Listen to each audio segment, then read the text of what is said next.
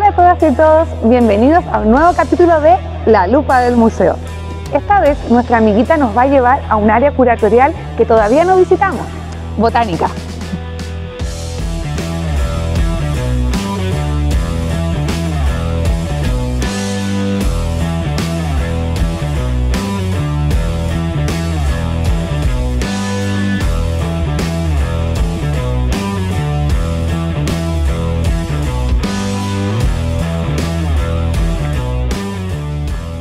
Estamos entrando al área de botánica, en donde Víctor Asviles nos está esperando para contarnos acerca de la importancia histórica del Herbario Nacional.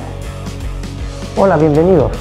Gracias por venir a Botánica y en esta oportunidad les quiero contar de una de las colecciones más importantes que tiene nuestra institución, que es el Herbario Nacional, el cual es conocido internacionalmente con la sigla SGO, que hace referencia a su ubicación en la ciudad de Santiago de Chile. Pero nuestros amigos se preguntarán qué es un herbario. Un herbario es una colección de plantas secas y clasificadas que se usan como material de referencia para el estudio de la botánica o ciencia de las plantas. Es como una biblioteca, pero en vez de revisar libros, revisamos plantas desecadas y que han sido colectadas en una localidad y una fecha determinada.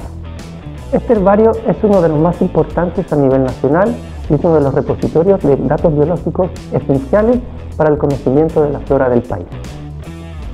En la actualidad, el Herbario Nacional comprende distintas colecciones, entre ellas plantas con flores como las añeñucas, coníferas como las araucarias, plantas sin flores como los helechos, los musgos, los antocerotes, las algas y hongos y líquenes. Estos últimos dos grupos no son plantas y corresponden al reino de los hongos.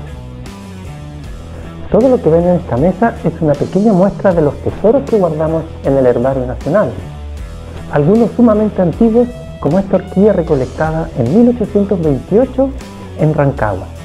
Nuestra misión institucional es resguardar, investigar y difundir este patrimonio natural que nos pertenece a todos y que toma gran relevancia en el contexto actual de crisis de biodiversidad.